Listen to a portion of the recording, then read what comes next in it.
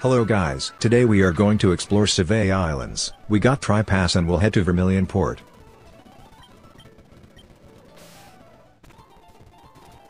And here is Jojo Fan whom we had beaten in Power Plant. And looks like he wants to battle. He can't stand a chance in front of our champion team. What? Okay, so he got Necrozma in his team. No problem. Slaking and Urshifu took out it with Sucker Punch. Meganium took out Mega Garchomp.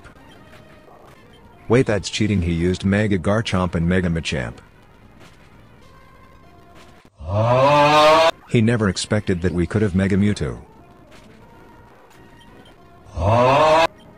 He used two Mega Evolution and still can't beat us.